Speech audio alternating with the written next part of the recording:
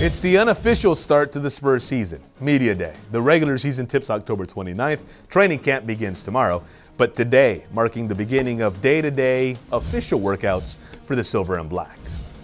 This year is, again, it's like a new um, experience for me as well with, with DJ gone. Um, uh, a couple of us other guys had to step up and really, like, yeah, take on that, that lead, leadership role. And I think we've seen it a little bit in Open Gym already. Uh, so, yeah, I I embrace the challenge. Um, I'm having fun with it. Um, there's a lot of new faces, a lot of young guys um, that really like haven't seen much of this yet. So I'm, I'm, trying to help them as much as possible.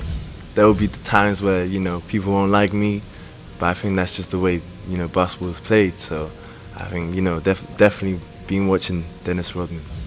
We're definitely young, um, but I mean we're ready to compete. I think we're hungry and, and ready to go. I I probably shouldn't say this, but I'll say it anyway.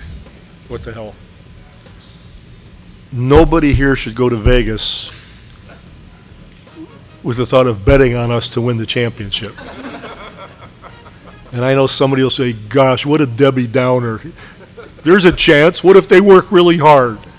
It's probably not going to happen. Uh, but that's not the point. And very honestly, I could care less.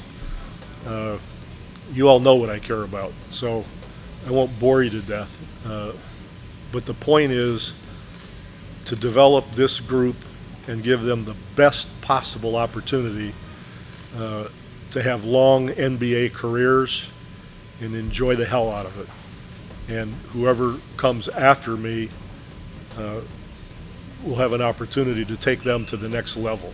And catch our Spurs coverage daily on Sports2Nite com.